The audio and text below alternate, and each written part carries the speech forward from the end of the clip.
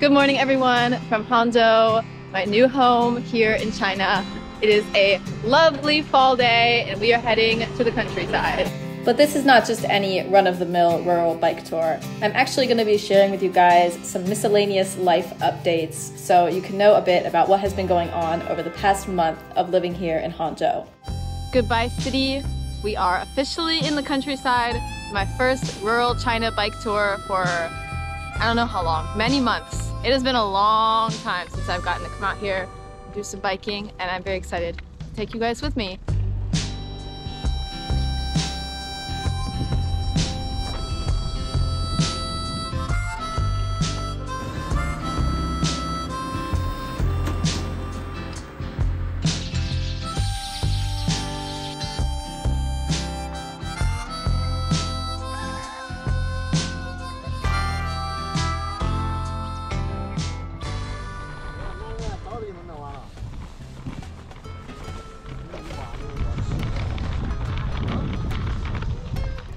Miscellaneous snacks and oranges for sale on the side of the road.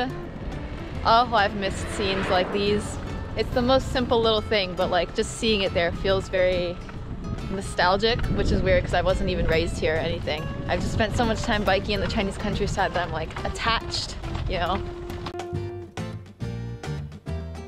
Some of you are probably wondering, if I love rural China so much and I spend so much time in random villages, why don't I move to a village myself? This is actually something I've been wanting to do for a long time, but logistically, it's quite a challenge. First off, barely anyone who isn't local tries to rent, buy, or build property in rural China. Many villages are also family based, which is why a lot of them are named after the predominant local last name. So for me to just show up as a complete rando with no connections whatsoever would be kind of weird.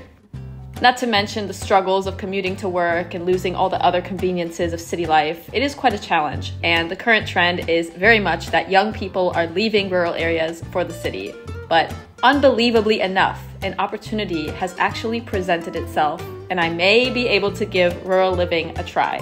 The place that I'm working at has an office in a village about an hour from Hangzhou. There are three young employees working there, and they are hoping to transfer one more over from the city, and I am trying to get in on that. So, a few days ago, one of my colleagues gave me a tour of some houses that are available to rent. And not gonna lie, a couple of them definitely need some work done. 这个房子是哪年哪年的呀？八几年的。哇，八几年的房子，太精彩了。 这也是我爸爸教的。这个是真的精彩。它下面一层都是石头的，石头堆砌堆堆起来的，第二层才是用的是砖头，嗯，是这样的。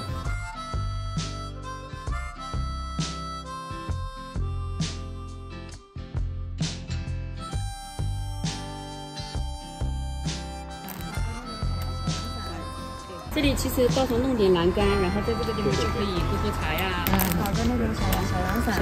你在这还在养鸡啊？对。我这里还养鸡，还在修个里。这个房子位置还有这个风景真的是特别棒，就是装修要考虑一下怎么办。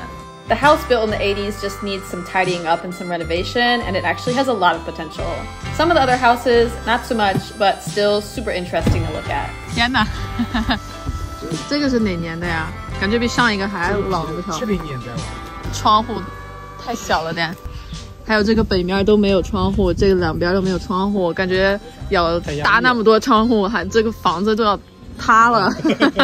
As I mentioned earlier, it's pretty rare for people to rent property in rural China, so the pickings were super slim, mostly houses that have been abandoned for years or even decades. The difference in architecture between the decades is huge, and the modernized houses look absolutely nothing like their predecessors from the 70s, 80s, and 90s. But most of them are occupied, except this one, which was abandoned shortly before being completed when the family decided to move to the city instead.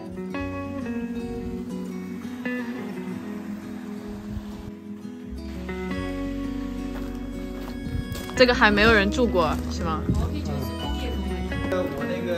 亲戚他们现在跟他女儿住在城里，哦，照顾他外甥，就现但没有回来。如果有人愿意租的话，就可以租掉。哦。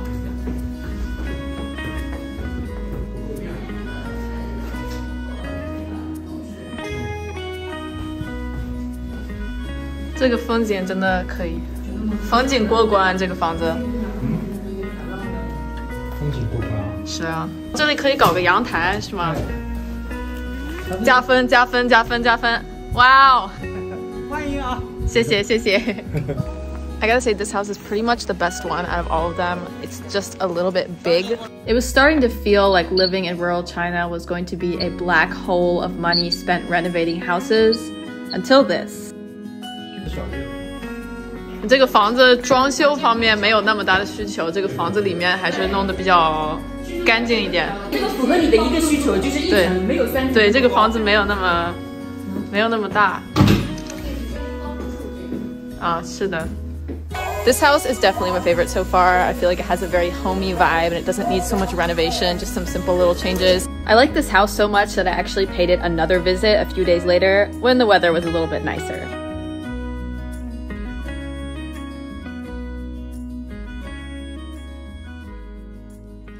I love this little room here. It's so cute. It has the best view of the mountains and the neighbor's house. Of course, this is gonna have to go, but yeah, I just really like this little room. And there are also two other rooms. So it's spacious, but not overly large. You know, some of the other houses had what felt like 10 rooms. I don't need that many rooms, you know? Cozy little kitchen. Slightly difficult cooking situation, but that's fine. It's a life experience.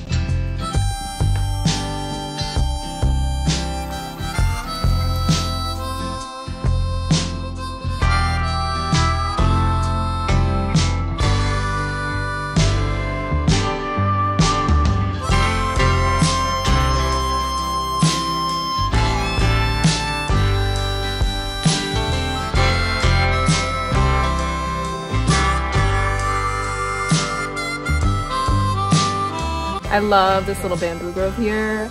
I want to raise some chickens in there, put some ducks in there. Dream come true.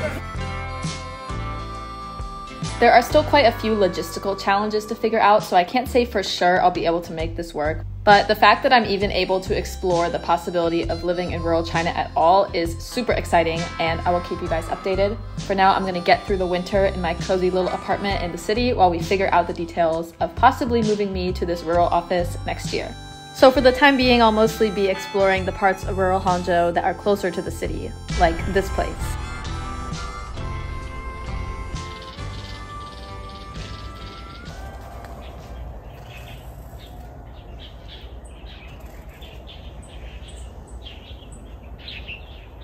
I love the sounds of the countryside the chickens, the goats, the breeze through the trees and the grass. But sometimes the road is just too quiet. And during those times, I'll listen to some music, podcasts, or audiobooks. Today, I'd like to recommend to you guys an audiobook app that is the perfect thing to listen to to spice up your workout routine, your commute, or any other everyday task. That would be the sponsor of today's video, Blinkist. If you're like me and you're very curious about the world and you have an endless list of books and podcasts that you want to get through, but you just never have time to finish a single one of them, Blinkist is perfect for you. It has condensed 15 minute versions of over 5,500 nonfiction books and podcasts, so you can get an educational and entertaining look into various topics and enjoy some great insights and nuggets of knowledge. Today, I'm listening to Beyond Culture by anthropologist Edward Hall. Living in China, I experience tons of cultural differences on a regular basis. For example, the US's individualist society versus China's collectivist society. It's definitely a very interesting experience to live in a society where the core cultural values are completely different from the ones that you grew up with. Because culture is so deeply ingrained, it can be hard to realize that the way you view things isn't the only way. One method to better understand foreign cultures is to better understand your beliefs, even those that you might not have ever questioned. Whether you're interested in technology, philosophy, health, parenting, or various other topics, there is something for you on Blinkist. Come and check it out. Click the link in the description to start a seven day free trial and get 25% off of a premium membership. There's also a new feature called Blinkist Connect, which allows you to share a premium membership with one other person. So if you guys are interested, check it out. And now back to life in Hangzhou.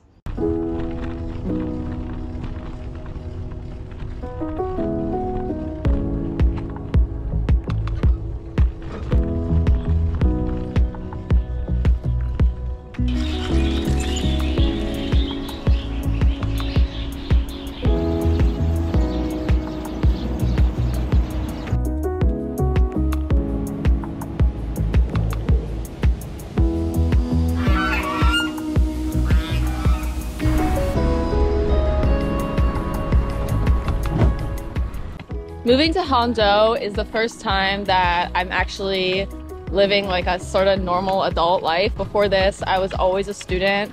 For years and years, I've been doing all kinds of freelancing stuff and part-time stuff, but this is the first time I've ever had a full-time job. So a lot of people may be wondering, will my channel be able to continue? And the answer is, fortunately, yes. So if I was working at like a regular company, a standard office job, they would probably view this channel as an annoying burden because it takes a lot of my time and energy to make these videos. But to my current employer, they think it's great because this is a way to promote their projects and their work both in China and outside of China. I mean, this is great for them, so they're not complaining. I can't do the whole like new videos every Wednesday, consistent upload schedule, but I can always find ways to create my own video content in between the gaps. I'm a bit of a workaholic type, so this job fits me perfectly and every day is different. So with a quote unquote regular job, you might go into the office at nine and then you get off at five or six and then the rest of the time is yours. With this job, you're always working on something. You always have to be on alert if there's somebody messaging you about some project or something you have to do in the middle of the night. You're always thinking about work. But the benefit of it is every day is different. Every day is exciting. I'm always going new places, meeting new people, seeing new things. I'll still be able to do my bike tours as long as I bring my computer. And I am on call every evening in the hotel for who knows what task might get dropped into my lap. So yeah, it's got its benefits and its disadvantages. I'll share some more specifics about my job in upcoming videos. I just wanted to let you all know that this channel will go on, even though I might update kind of slow sometimes. That's all for today, everyone, and don't forget to check out today's sponsor, Blinkist, for some super interesting insights and nuggets of knowledge on all kinds of topics. Hope you guys enjoyed this little glimpse of fall in rural Hangzhou, and I'll share more updates with you later this month and next month. See you then.